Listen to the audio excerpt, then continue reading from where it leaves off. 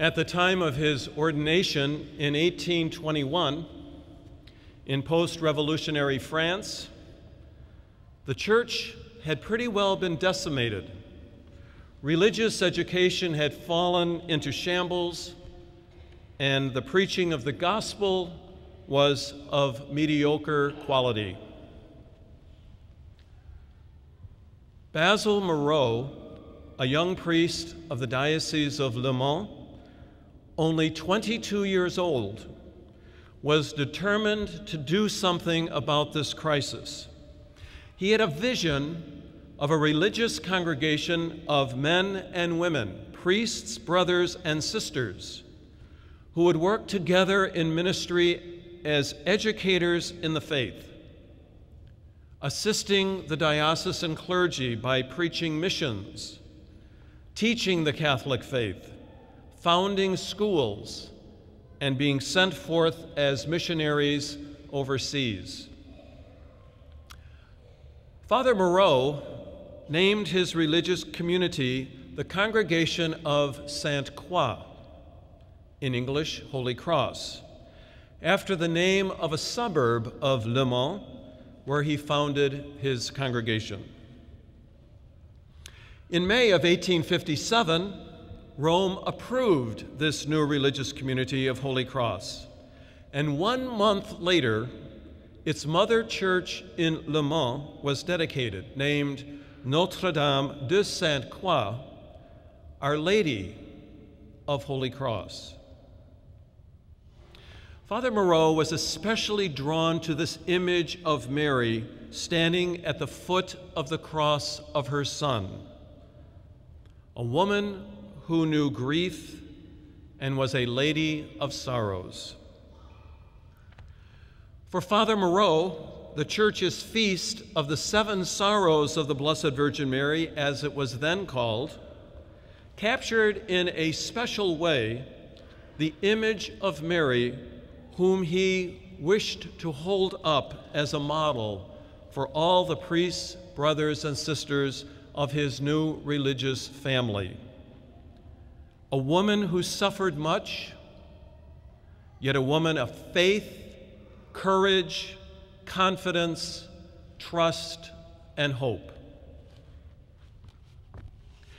The Feast of Our Lady of Sorrows traditionally celebrates seven sorrows associated with Mary as presented in the Scriptures. The first, the presentation of the infant Jesus in the temple, when Simeon the prophet foretold that a sword of sorrow would pierce her heart. The second, the flight into Egypt. The third sorrow, Mary's and Joseph's desperate search for their 12 year old son lost in Jerusalem. The fourth, Mary meeting Jesus as he carried his cross through the streets of Jerusalem. The fifth, her standing at the foot of the cross on Calvary, this morning's gospel passage. The sixth, Mary receiving into her arms the lifeless body of her own flesh and blood.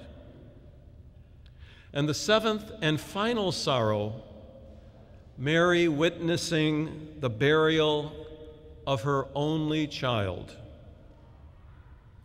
Each and every sorrow portrays Mary in union with her son, not alone or apart, never attracting attention to herself, but intimately joined with Jesus as a mother to her own flesh and blood throughout his life, but especially in his suffering and death. Why have Christians, both in the East and in the West, so honored this woman for some 2,000 years? Because of her divine maternity as Mother of God, her immaculate conception, her assumption, Yes, surely. But perhaps more importantly, Christians have seen in Mary what it means to be a disciple, what it means to be a person of real faith, what it means to be a Christian sharing in the passion, death, and resurrection of her Son. Holy Cross priests, brothers, and sisters today minister in some 20 countries around the world. Some have been imprisoned, others tortured, some even killed for the sake of the faith. Wherever Holy Cross religious minister, be it in Bangladesh, France, Uganda, Chile, here at Notre Dame, or elsewhere, all find encouragement and strengthen and strength through the prayers and example of Our Lady of Sorrows, the first disciple of Jesus. But today's feast is not just for Holy Cross religious, but for all of us. Mary teaches us that compassion, uncertainty, grief, sorrow, disappointment, disillusionment, financial uncertainty and instability, tragedy, illness, even death itself need not leave us bitter or despondent. Mary never despaired in her sufferings.